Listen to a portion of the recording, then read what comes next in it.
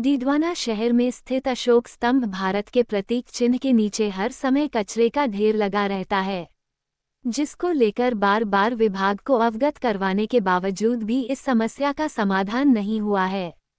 कचरे के ढेर की वजह से यहाँ पर हर समय मवेशी विचरण करते रहते हैं, जिसकी वजह से हर समय हादसे की आशंका बनी रहती है।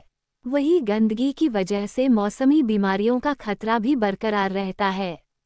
लेकिन इसको लेकर अभी तक नगर परिषद की ओर से कोई ठोस कार्रवाई नहीं की गई है। नगर परिषद आयुक्त ने कहा कि अशोक स्तंभ का जो मौका है, वह देख लिया है। इसको लेकर सफ़ाई निरीक्षक को पाबंद किया है। यहाँ पर हम किसी एक आदमी की ड्यूटी लगा देंगे, ताकि वह बराबर ध्यान रखेगा कि कौन कचरा डाल रहा है।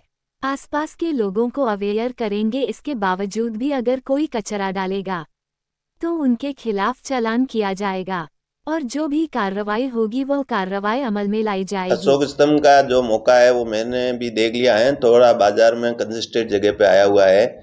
इसके लिए हमने स्वास्थ्य निरीक्षक को पाबंद किया है कि यहाँ पर हम किसी एक आदमी की ड्यूटी लगा देंगे, ताकि वो बराबर ध्यान रखेगा कि कौन कचरा डाले।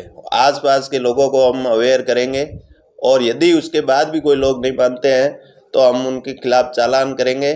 और उनके जो भी हमारे से कार्रवाई होगी वो हम कार्रवाई करेंगे।